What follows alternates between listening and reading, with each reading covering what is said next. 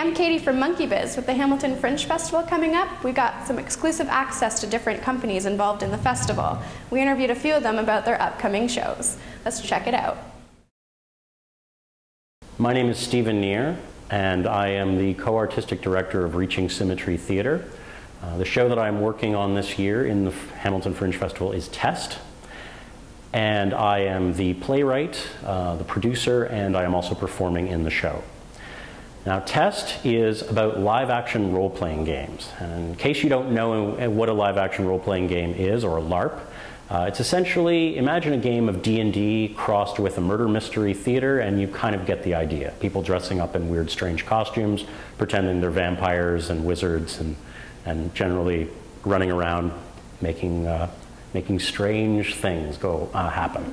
The play is about, um, is about two LARP, role, uh, LARP gamers who essentially stage a retelling of specific moments in their relationship together to try and come to a decision, uh, a judgment, an answer about what it all means. It deals with some, some, pretty, um, some pretty serious themes, um, you know, uh, relationships and drama between two people, but it has a very, very uh, lighthearted comedic feel. I mean, let's face it, we're talking about uh, people pretending that they're vampires and wizards.